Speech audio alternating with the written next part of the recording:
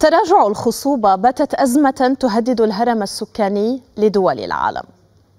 فوفق بيانات نشرتها مجلة إيكونومست فإن الانخفاض في الخصوبة أصبح أزمة تهدد دول العالم كافة بعدما بدأت هذه الأزمة في الدول الغنية حيث تشهد الاقتصادات الخمسة عشر الأكبر في العالم أقل مستوى خصوبة على الإطلاق وسجلت 98 دولة حول العالم في عام 2010 انخفاضا ملحوظا في نسبة الخصوبة وصل إلى طفلين تقريبا لكل امرأة.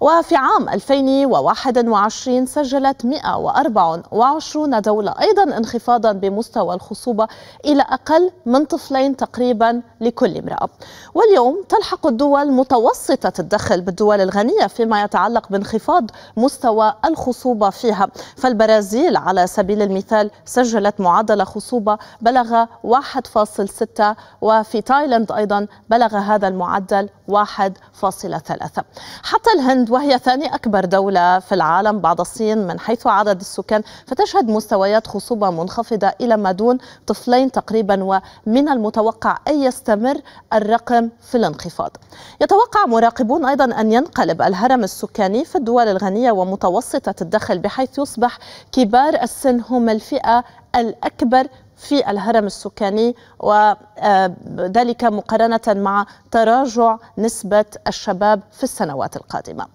قالت إيكونومست أيضا أن اختفاء الشباب وهكذا سمته المجلة يظهر في قوة في الصين حيث, حيث تقلصت أعداد الشباب من 232 مليونا في 2012 إلى 181 مليونا في عام 2021 وتبعا للبيانات المسجلة أيضا فإن هذه المسألة لا تتعلق بالمستوى التعليمي المرتفع فقط كما في السابق بل آه، تميل المزيد من النساء إلى الحصول على التعليم والعمل إضافة إلى توفير موانع الحمل بشكل واسع وأسباب أخرى اقتصادية وجيوسياسية مرتبطة بهذا الموضوع. وينادي باحثون بضرورة إعادة التفكير بالسياسات العالمية المتعلقة بالخصوبة خصوصا أن توزيع الهرم السكاني فيما يتعلق بمسألة العمل والزواج والإنجاب يعتبر عاملا حاسما لتحقيق الازدهار